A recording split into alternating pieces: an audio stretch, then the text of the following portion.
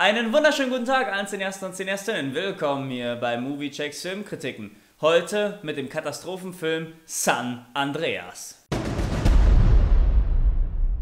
In San Andreas geht es um die titelgebende San Andreas Verwerfung und darum, dass es aufgrund von tektonischen Plattenverschiebungen zu einem Erdbeben der Stärke 9,0 auf der Richterskala innerhalb dieser San Andreas Verwerfung kommt. Und die Folgen sind prompt spürbar, unter anderem in San Francisco, welches wie ein Kartenhaus in sich zusammenstürzt. Auf der anderen Seite geht es aber auch um Ray, gespielt von Dwayne The Rock Johnson, einen Rettungshubschrauberpiloten, welcher als allererstes seine Ex-Frau aufsucht, um dann mit ihr gemeinsam nach San Francisco zu fliegen, um dort die gemeinsame Tochter Blake zu retten. Also neben Katastrophenfilm auch noch ein bisschen Familiendrama, denn Ray und seine Frau Emma leben in Scheidung. Sie haben ein gemeinsames Kind verloren. Das andere befindet sich jetzt in Lebensgefahr in San Francisco, wo die ganzen Wolkenkratzer einstürzen und auch wilde Tsunamis rundumher sich emporsteigen lassen. Und das alles aufgrund eines Erdbebens, welches so nicht vorhersehbar war. Nach dem Erdbeben am Anfang des Films fragt sich der Zuschauer, wie man das noch toppen kann. Und die Frage wird direkt auf dem Fuße beantwortet, sobald Emma und Ray in San Francisco ankommen, um Blake zu suchen.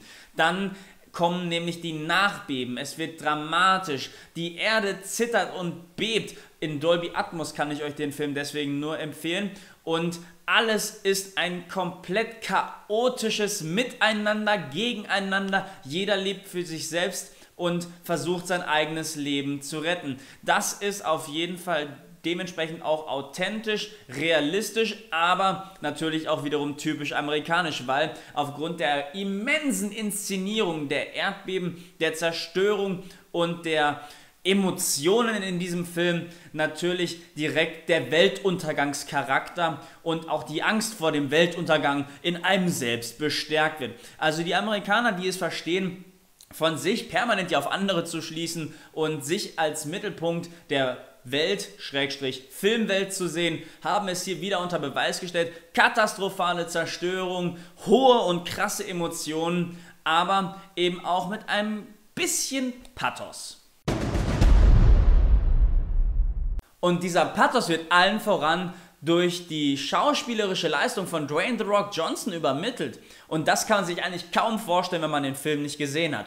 Dieser Muskelberg, dieser Koloss eines Mannes mit solchen Oberarmen, ja, bei dem man sich vorstellen könnte, dass er mit einem Fingerschnips das Erdbeben zurück in die Schranken weist, ja, der spielt hier so empathisch, so sensibel, wie man ihn, glaube ich, vor selten gesehen hat. Und ich glaube, es ist auch nicht zu hoch gegriffen, wenn man sagt, dass sich Dwayne The Rock Johnson abseits des Actionkinos auch immer mehr und mehr in die Filmwelt integriert als ein Schauspieler, der rein theoretisch auch abwechslungsreiche Charaktere spielen könnte, wenn man ihn denn ließe. Das hat er auf jeden Fall in diesem Film bewiesen. Er zeigt auch, dass auch solche Muskelmänner, die Stärke nach außen hin präsentieren, einen weichen Kern haben. Und das war richtig großes Kino. Das muss man einfach mal so sehen. Ne? Auf der anderen Seite hätte ich mir aber etwas mehr Charaktertiefe bei den weiblichen Hauptrollen gewünscht. Carla Gugino, die Emma spielt, die Ex-Frau von Ray und auch von Alexander Daddario, die Blake, die Tochter spielt, kommen in diesem Film relativ schwach weg. Ich meine, es ist ein Katastrophenfilm, dementsprechend steht die Action und die Zerstörung, die Katastrophe an sich im Mittelpunkt und eventuell, typisch klischeehaft, der stählerne Mann, der versucht, seine Familie zu beschützen und vor Schaden zu bewahren. Also wirklich eigentlich 0815 Katastrophenfilm-Kino, aber es funktioniert einfach in diesem Film tadellos. Auch wenn San Andreas von anderen Kritikern in höchsten Tönen gelobt wird, muss ich sagen, er folgt einer einfachen Matrize, wie wir sie auch schon in anderen Katastrophenfilmen gesehen haben. Und dementsprechend bringt er mir jetzt auch nicht so viel Neues. Klar, der Cast ist ein anderer als in anderen Katastrophenfilmen, aber letzten Endes agiert er genauso wie eben auch in anderen Katastrophenfilmen. Die Parallelen zu The Day After Tomorrow sind definitiv vorhanden aufgrund dieser familiären Komponente. Man spürt aber auch eine entsprechende Nähe zu dem Film 2012 aufgrund der extremen Zerstörung Und aufgrund der Machtlosigkeit, die man auch in dem einen oder anderen Moment hat, spürt man auch eine gewisse Parallele hin zu Independence Day. Und das ist wiederum so ein bisschen Facettenreichtum, was den Film auch wieder aufwertet, weil er aus den unterschiedlichsten Katastrophenfilmen sich die Rosinchen rauspickt und versucht, was eigenes auf